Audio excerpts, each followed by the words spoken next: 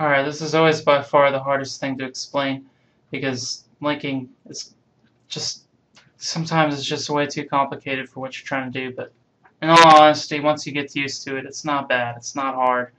You just got to understand the concepts of going from one page to another page, and this is why I keep I say keep page names simple. It's going to kick in right here. So I've, I've made page two. This is the page name, and this is what I've got to link to. Remember, the subject doesn't exactly alter my my whole linking process. So uh, from my test page, my test, I want to go to page two. So I'm going to open test, and I need my editing field at the bottom. So I'm going to pop that up. You can see I've got my random text here.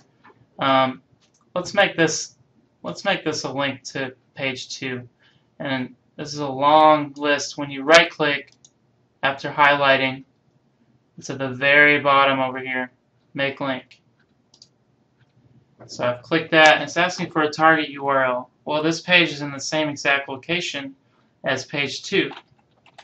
So I'm going to just type in the exact name of page 2. Um, these fields are for tags, so don't really worry about those. But your window, it's asking new window or same window. Um, I usually put it on same window so that you don't have a hundred browser windows popping up here and there. And go to OK. Now that that's a link that's going to work um, once you actually see it on the page. There's another way to do it. Let me pull that down so you can see it. Insert link. And now I'm going to also call this page 2. Um, I'm going to use same window, hit OK. Now it's highlighted, so if you type right now, it'll it'll override what you're actually typing in. So you click to the right of it and say page 2. And now both of these are going to page 2, but they're typed in as different things. That's fine. I'm going to go ahead and I'm going to save without closing.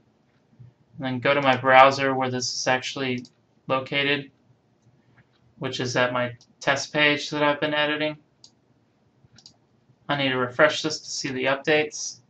There's random text, and then there's page 2. Well, both of these are going to go to page 2